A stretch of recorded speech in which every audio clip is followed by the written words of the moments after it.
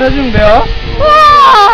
어떡해! 여기서 무섭다고 막 이렇게 해서 이렇게 가면 안 돼요. 달려가야 돼요? 계속 어, 달려가지지 못하시더라도 걸어서 오, 어떡해, 어떡해. 계속 걸어다 보면 언젠간 발이 안 닿겠죠.